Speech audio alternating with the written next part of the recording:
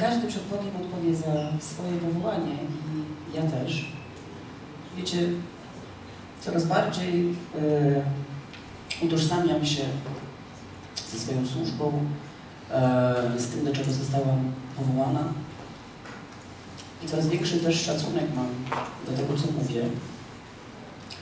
To, co mówię, zawsze kieruję wpierw do siebie. I nie mówię rzeczy teoretycznych, mówię rzeczy, które przeżywam z Bogiem. Jesteśmy w Kościele teraz w takim cyklu, mówimy o Duchu Świętym.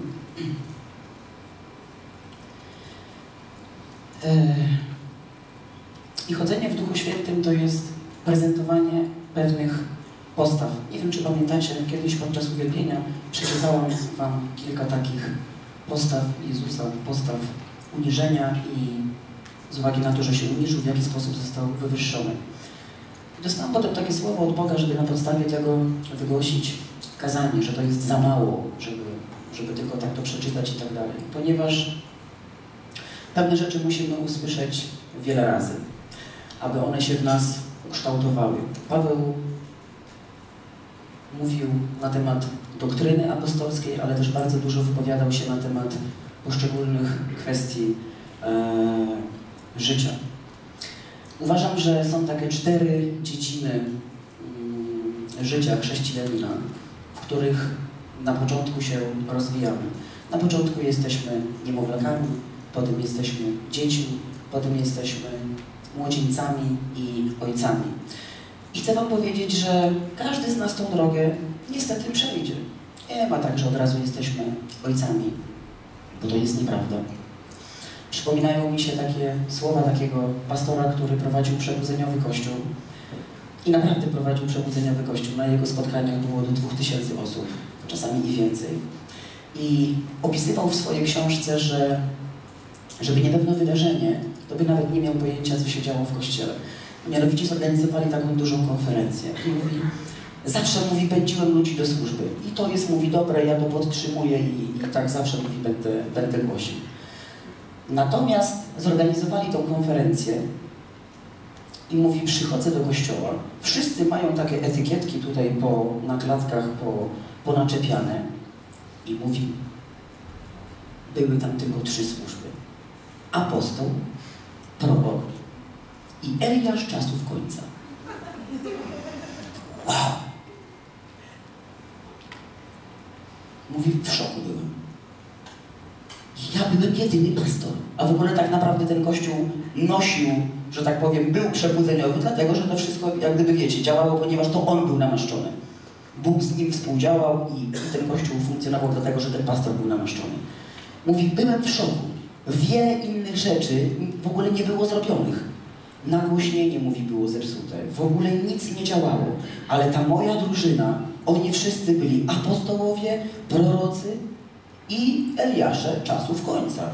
I on tak w ogóle stanął i w ogóle, wiecie, Duch Święty do niego powiedział wtedy, żeby zaczął w Kościele nauczać na temat w ogóle prawdziwego, duchowego rozwoju. Wiecie, bo my w ogóle musimy zdawać sobie z tego sprawę, że nie ma tak, że my przychodzimy do Kościoła, poznajemy Pana Jezusa jako Pana i Zbawiciela, przychodzimy do Kościoła, gdzie tak naprawdę same dobre rzeczy dostajemy i na dzień dobry stajemy się, nie wiem, nauczycielem, apostołem, prorokiem i tak dalej. To jest nieprawda.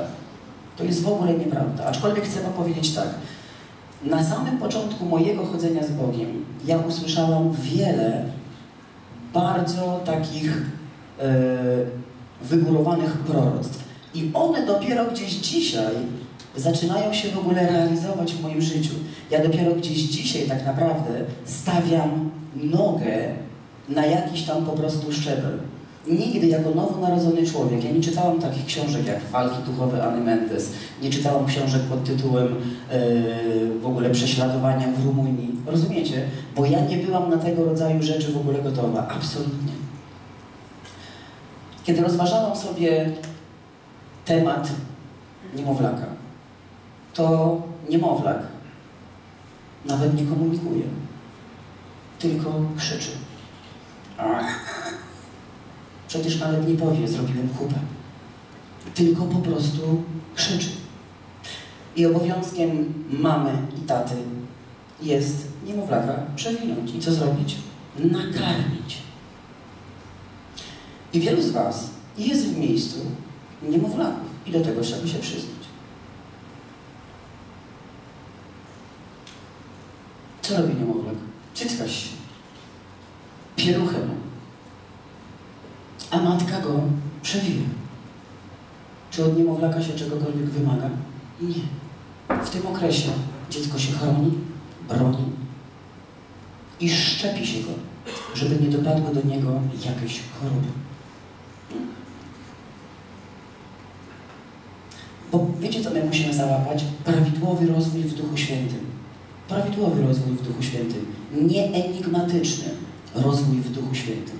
Jak chodzę z Bogiem kilkanaście lat, tak widzę, że jak diabłu nie uda się uderzyć ludzi jakimiś grzechami moralnymi, to po prostu przychodzi też w formie głupoty. Głupoty. Jak w kościele większość, jak w kościele pastor, to wszyscy pastorzy. Jak ewangeliści, to wszyscy już ewangeliści. Jak apostołowie, to wszyscy apostołowie. Jak prorocy, to wszyscy prorocy. To jest niedorzeczne. To bzdura, to głupota. To takie duchy ogłupiające, które działają w świecie, a potem przychodzą do kościoła i też panoszą się w kościele. Ja wiem, że to, co będę mówiła, nie będzie takie, wiecie, wow, ale na pewno to, co powiem, spowoduje, że prawidłowo będziesz budował swoje życie, ponieważ ja w prawidłowy sposób zbudowałam swoje życie. My na samym początku, to wiecie, co robiliśmy? Artur się nawrócił, w cudzysłowie wystrugał kazalnicę i głosił kazania do mnie i do mamy.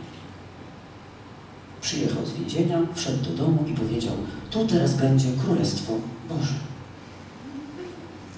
Powypędzał jakieś duchy, pościągał okultystyczne obrazy ze ściany i głosił nam. Pierwsze co, to świadectwo ludzie z Twojego bliskiego otoczenia. Dobrze by było, żeby jak gdyby wydali o Tobie. Twój dom. Twój dom. Twój dom. To bardzo ważne.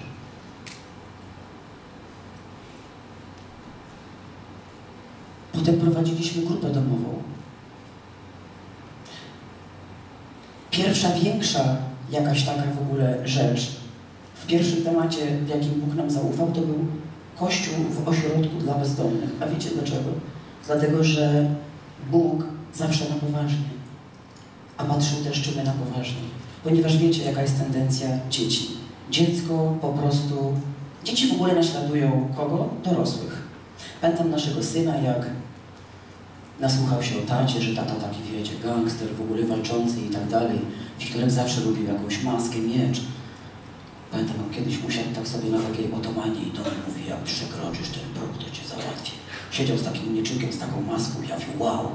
Wiecie, ale teraz zobaczcie, co by się na przykład wydarzyło, gdyby w ręku mojego Wiktora ten miecz zamienił się w prawdziwy miecz. Narobiłby bałaganu. I tak samo jest z dziećmi w kościele. Dzieci biorą miecz, tak? Chlast, chlast, chlast, chlast. Czemu tak jest? No bo to dziecko. No dziecko po prostu złapało miecz, poleciało, pochlastało, narobiło, narozwalało. Dzieciak.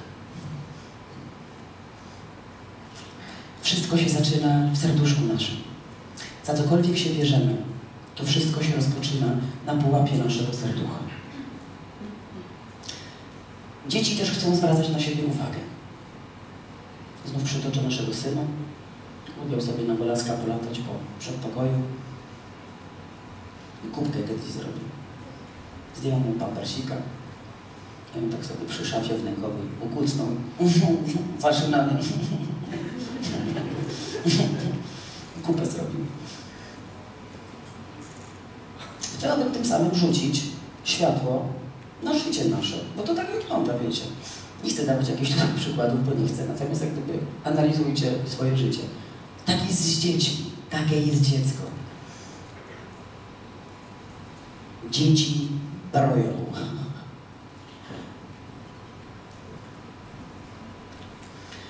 Musimy być fanatykami badania życia Jezusa. Jezus dał nam dobry przykład, jak się rozwijać. On dał nam dobry przykład, jak się rozwijać. Jezus nam pokazał wiele postaw, które prezentował. Uniżył swoje życie do końca.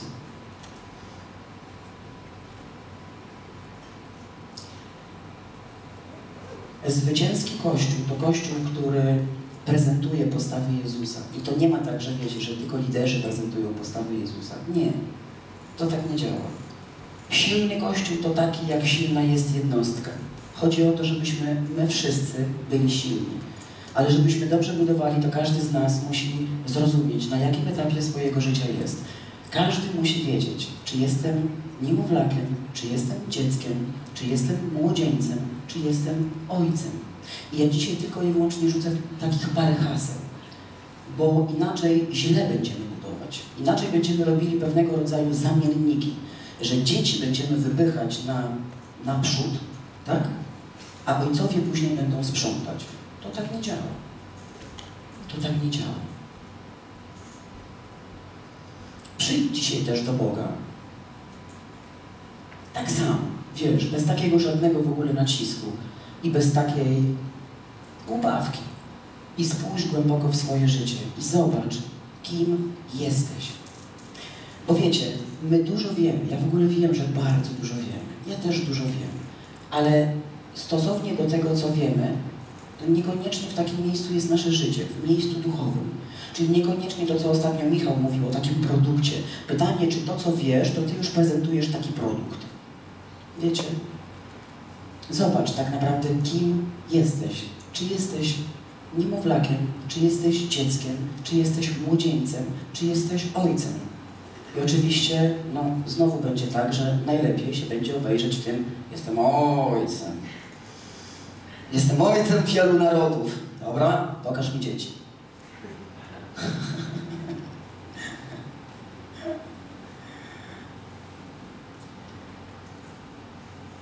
Kiedy dostałem słowo, że będę znakiem sprzeciwu wobec religii i że będę sprawiedliwością Bożą w czasach niegodziwości, to to mnie pionuje. A wiecie dlaczego? Ponieważ moim zadaniem jest między innymi porządkować rzeczy, żebyśmy się prawidłowo rozwijali. I coś Wam powiem. Ja to przeżywam. A wiecie dlaczego? Bo Wy jesteście żywymi istotami. A ja zdam przed Bogiem sprawę za to, jak ja wykonuję swoje zadanie. Jeśli ja nie będę prorokiem, to biada mi. Jeśli ja w tej społeczności nie będę prorokiem, to biada mi.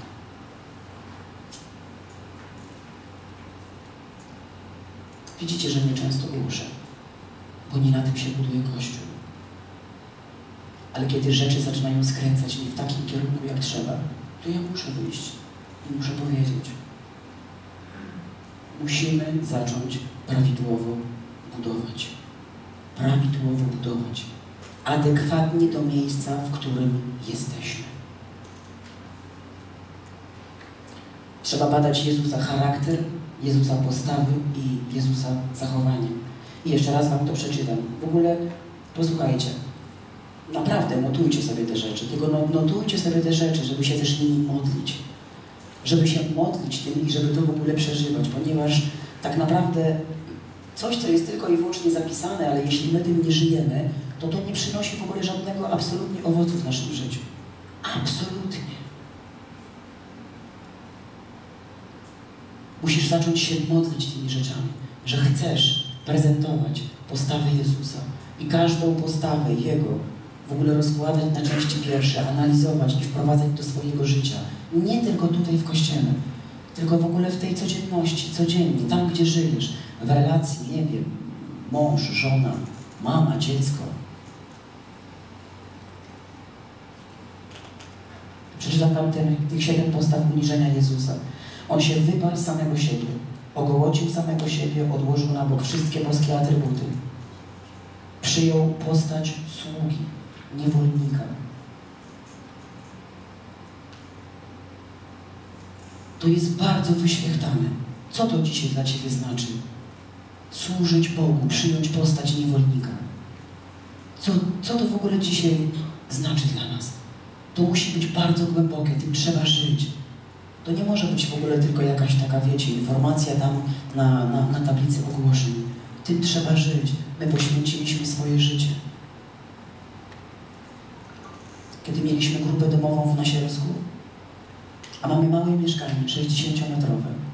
I z uwagi na to, że nasze świadectwo wywarło duży wpływ na ludzi w Polsce, więc jak otworzyliśmy grupę domową i gdzieś tam skrobnęliśmy na internecie, że będziemy się spotykać, ludzie z całej Polski pędzili do nas, żeby z nami pobyć, żeby pobyć w ogóle z pasjonatami. Teraz zobaczcie, z pasjonatami, z wykonawcami słowa, z tymi, którzy w ogóle mówią, że Jezus to rewolucjonista, z tymi, którzy życiem swoim w ogóle pokazują tak naprawdę, że ja tak żyję, tak jak mówię, tak żyję, ja tak mam.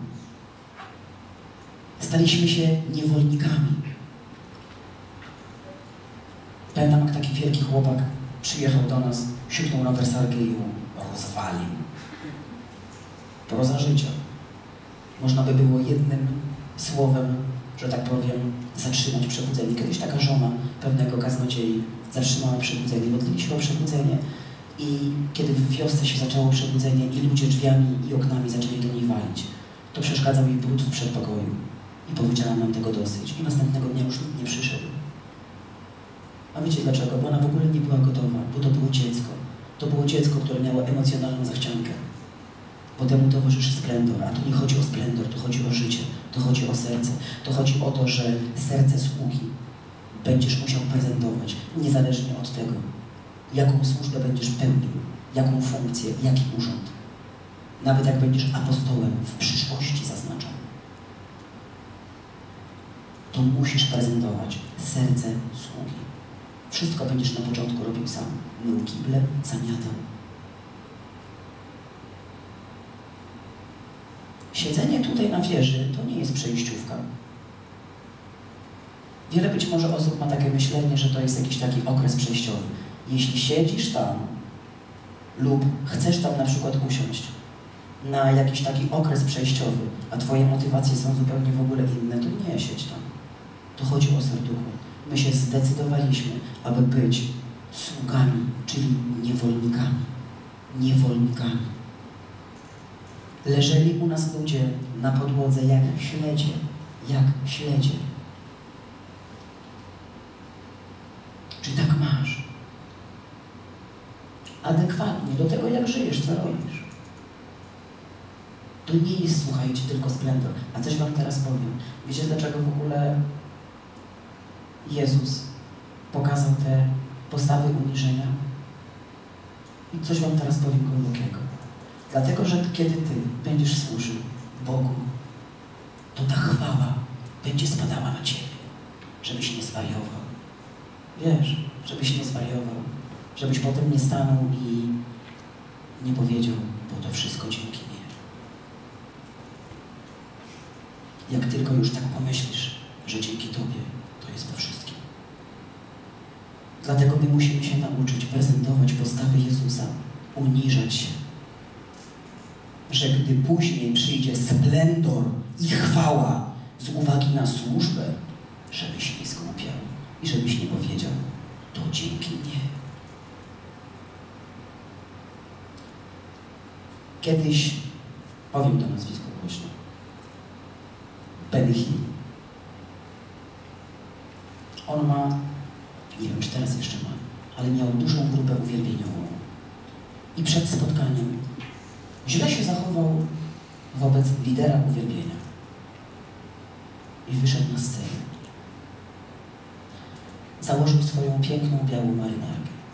Podniósł ręce do góry. I myślał, że tak jak zawsze namaszczenie stąpi.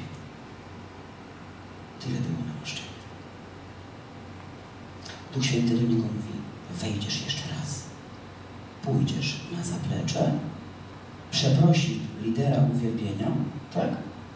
Pogodzicie się, ale wiesz jak? Z serduszka. Serduszka. Nie tak tylko, że wiesz, na odczepnego. Musisz w ogóle to zobaczyć. Wszedł na to zaplecze, przeprosił tego lidera uwielbienia i rozpoczęli spotkanie jeszcze raz. Rozumiecie? Nie ma tak, że my Boga złapaliśmy za, za nogi. Nie. A więc Jezus przyjął postać sługi, więc i Ty musisz przyjąć postać sługi. I w takim kościele jak nasz, w kościele proroczo-apostolskim, trzeba się tego trzymać. Jak koń dyszla, musisz sobie sam ustanowić pad nad sobą. Sam. Chlast, niewolnik. Chlast, niewolnik.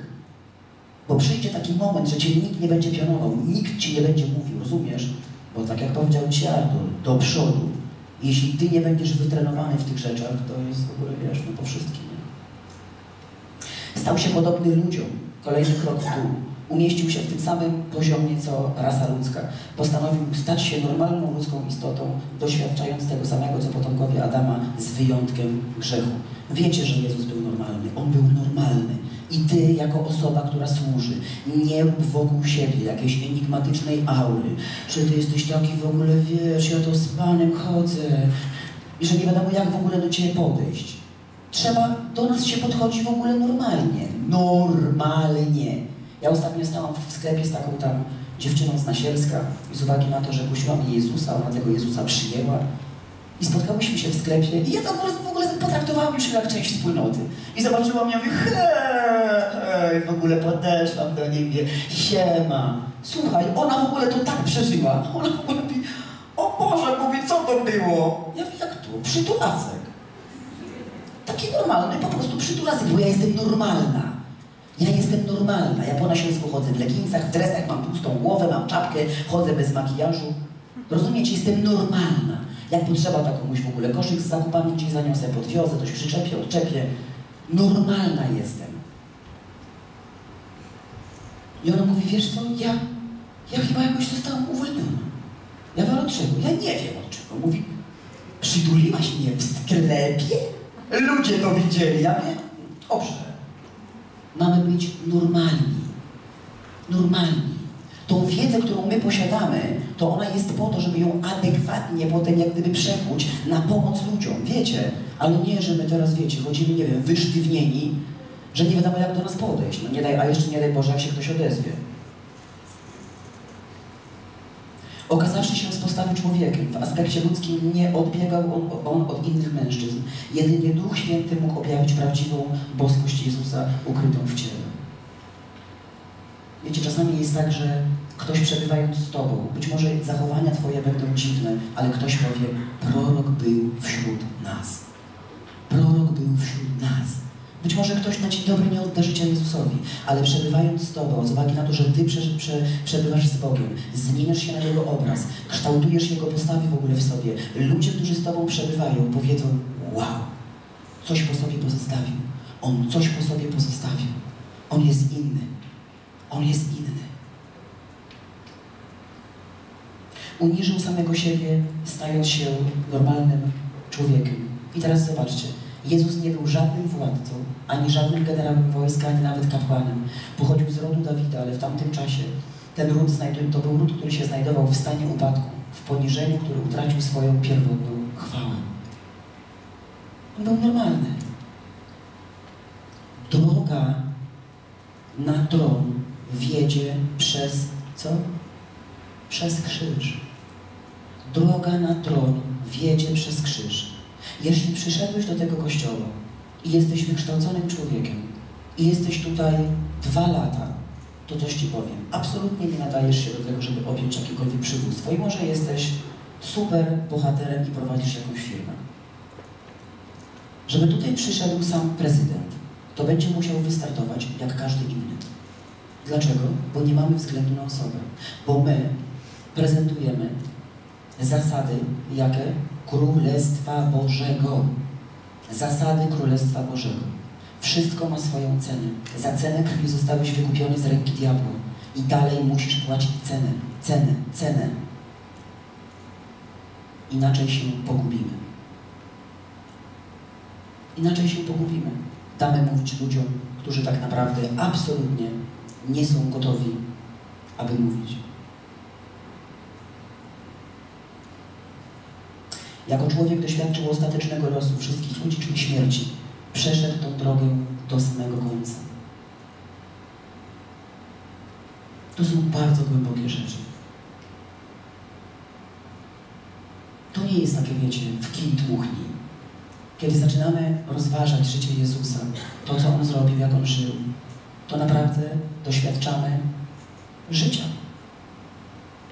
Głupoty nam do głowy nie będą przychodziły. Naprawdę, kiedy się rozważa życie Jezusa i ludzi, którzy mają sukces w służbie, tak? Takich ludzi rozważaj, to głupoty nie będą przychodziły do głowy. Duchy ogłupienia nie będą działały w Kościele. Jezus umarł śmiercią krzyżową. Nie umarł na łożu otoczony krewnymi, nie umarł w komfortowych warunkach swojego domu. Zmarł śmiercią przestępcy w bólu i wstydzie, wisząc nagi na krzyżu, rzymskim narzędziu egzekucji. To było całkowicie, całkowite uniżenie Jezusa.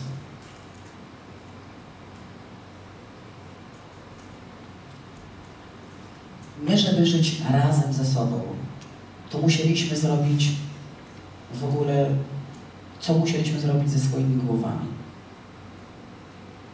Ja na początku chodziłam w moim życiu jak wariat. Czytałam jedną książkę.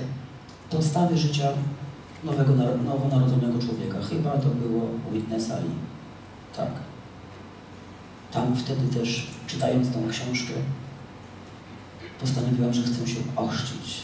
Mówię, pływam w jakimś wielkim morzu, nie jestem wyłowiona do łódki. Ja nie czytałam innych książek.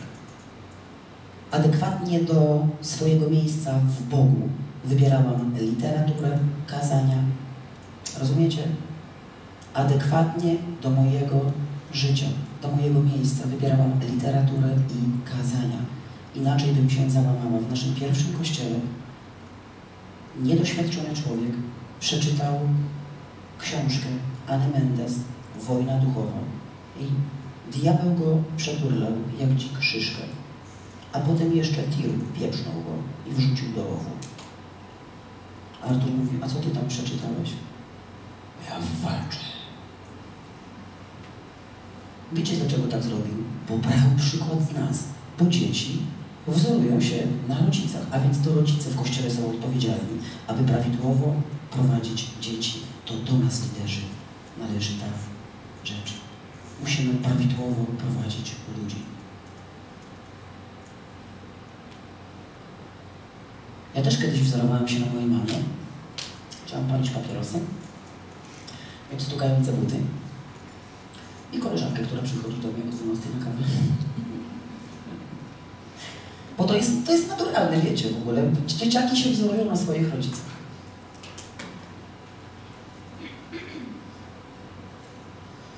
I teraz taka bardzo ważna rzecz. Te postawy uniżenia. Nie można z tego zrobić takiej pewnej taktyki, że teraz wiecie, przed kościołem to ja będę pokazywać taką w ogóle fałszywą w ogóle jakąś pokorę. Ja tu jestem taki uniżony teraz. Nie. Bo to jest kolejna w ogóle głupota i kolejna religia. Jak ludzie na mnie patrzą, to ja tutaj wszystko wysprzątam i tak dalej. A potem naślę taki gwoźdź tam, za drzwiami. To nie o to chodzi. Dlatego jest napisane, żeby takiego bądźcie względem siebie usposobienia. Filipian 2, 5, 8. Przeczytajcie sobie. Wszystko zaczyna się od serduszka. Tam. Ja muszę tam, w środku, zapragnąć. Mieć tak jak Jezus. Lub tak jak ludzie, na których się wzoruje, liderzy. Bo jest coś takiego, wiecie, że w ogóle dla człowieka w ogóle chcemy się w jakiś sposób pokazać. Tylko to chodzi w ogóle o, taką, o takie prawdziwe życie. No, wiecie, nie zajawki z kina, tylko prawdziwe życie.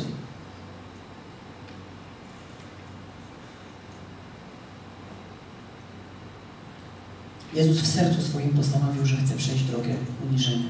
I tak samo Lucyfer w sercu swoim podjął decyzję o buncie. Chciał się stać równy Bogu. Wszystko zaczyna się w środku, w sercu.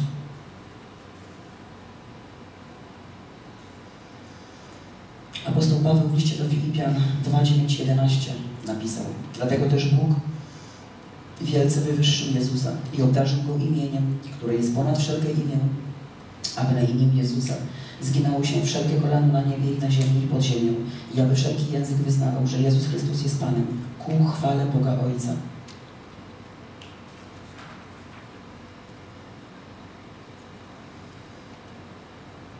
Kiedy prezentujemy postawę uniżenia, tak, to Bóg w odpowiednim czasie wywyższy Ciebie.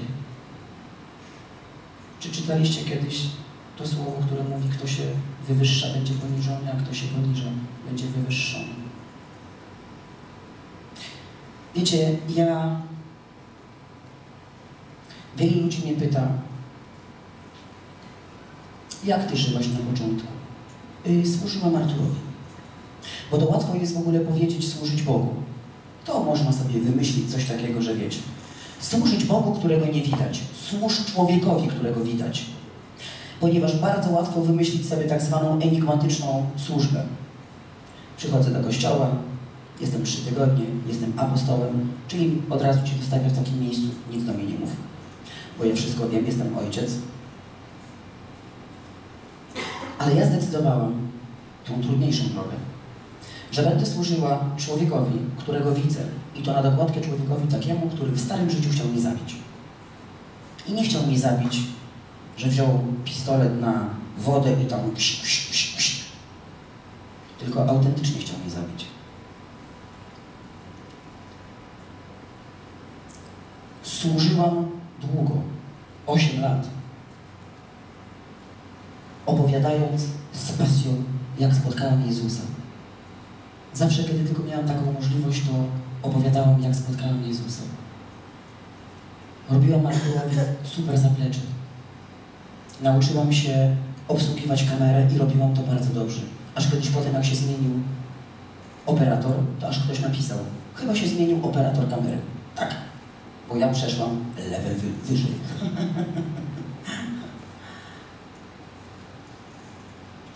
nie tutaj cudownych podgrzeń. Wiecie, to jest takie, ta klasyka, którą się mówi. Jedzenie podgrzane w mikrofali. Tak, szybko jest podgrzane, ale też szybko stygnie. Szybko stygnie. My musimy mieć odpowiednio zbudowane życie. Odpowiednio zbudowane życie.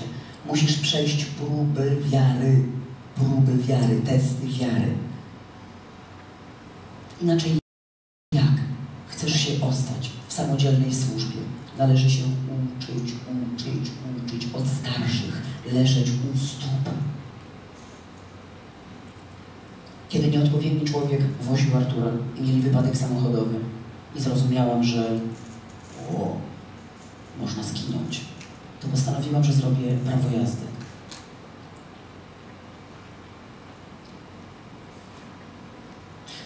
Ja naprawdę uniżyłam swoje życie uniżyłam swoje życie i w odpowiednim momencie zostałam wywyższona.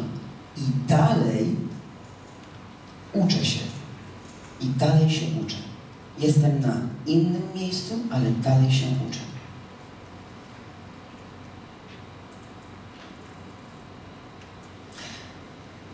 Bóg obdarzył Jezusa wielkim imieniem, imieniem ponad wszystkie imię. Na imię Jezusa zegnie się każde kolano. Pokłonią mu się wszyscy ci, którzy są na niebie. Pokłonią mu się ci, którzy są na ziemi. I pokłonią mu się ci, którzy są pod ziemią. I wszelki język wyzna, że Jezus jest Panem. Jezus został wywyższony dzięki swojemu uniżeniu. Pamiętam taką sytuację, kiedy opowiadaliśmy z Arturem świadectwo takiemu człowiekowi, a wcześniej ktoś inny mu opowiadał. I on mówi, jakaś jest w ogóle wy mówicie o tym Jezusie w ogóle z taką pasją. A on mi powiedział tak, jakby mi powiedział o Aldonie. Aldona do mnie przyszła i pozamiatała. Rozumiecie? To dla ludzi jest widoczne. To jest widoczne dla ludzi. To jest w ogóle te twoje życie w ogóle z Bogiem. Ono, wiecie, że to się da wyczuć, czy ktoś chodzi z Bogiem, czy nie. Naprawdę. Naprawdę da się wyliczyć, czy ktoś chodzi z Bogiem, czy ktoś ściemnia. I tak jak jesteśmy w tej społeczności wszyscy rośniemy, da się wyczuć. Sami też odczuwacie to. Sami macie też takie doświadczenia. kurczę, wiem, że on Bogiem na przykład nie pachnie, nie? Wiecie, jak to działa? Droga do awansu w Kościele jest zupełnie inna niż w świecie. Mateusz 20, 25, 27. A Jezus przywołał ich do siebie i rzekł, wiecie, że władcy narodów uciskają je, a wielcy dają im odczuć swoją władzę. Lecz nie tak będzie u was. Lecz kto by chciał między wami stać się wielkim, niech będzie waszym sługą. A kto by chciał być pierwszy między wami, niech będzie waszym niewolnikiem.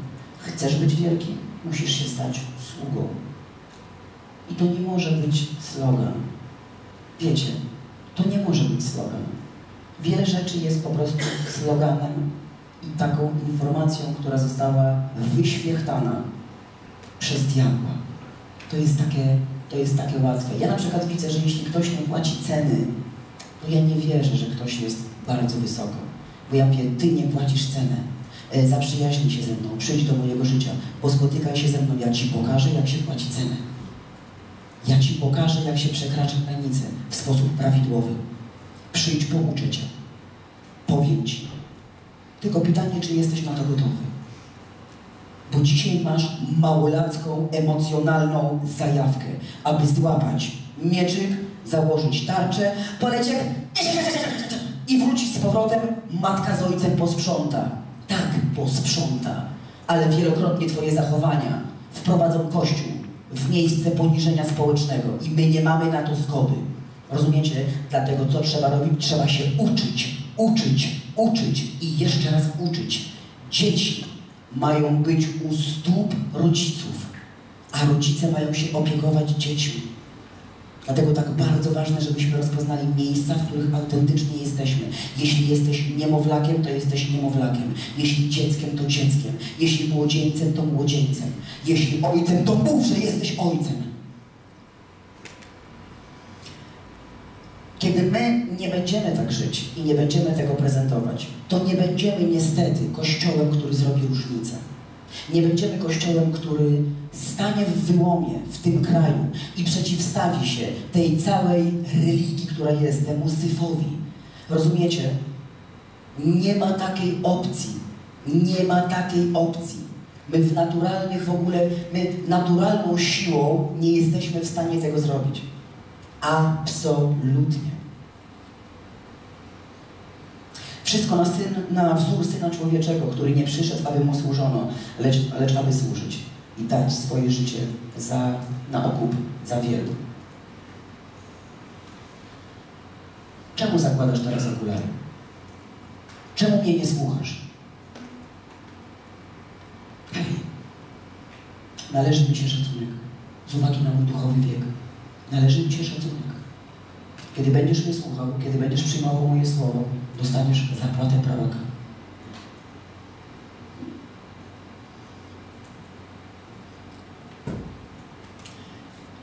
Ja byłam w życiu bardzo poniżonym człowiekiem i musiałam przejść z Bogiem swoją drogę, aby dzisiaj móc w taki sposób mówić.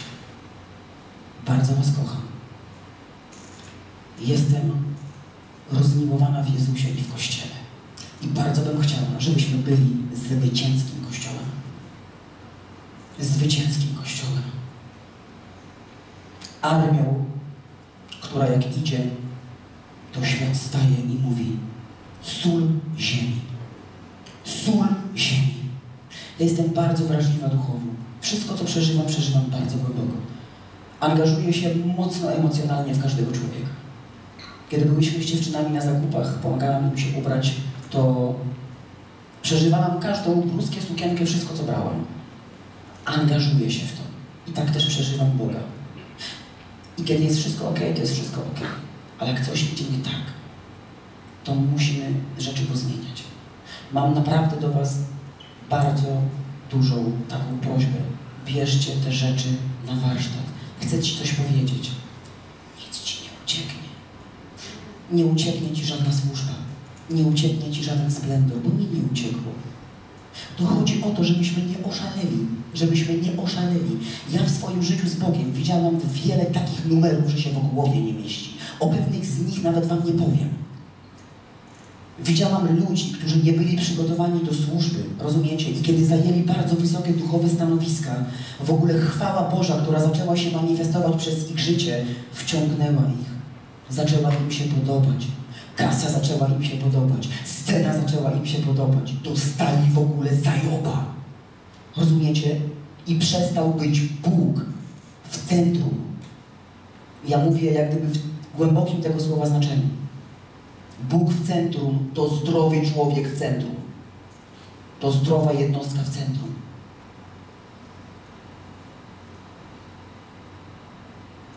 Czy powiecie na to amen, co ja mówię? Amen. Amen.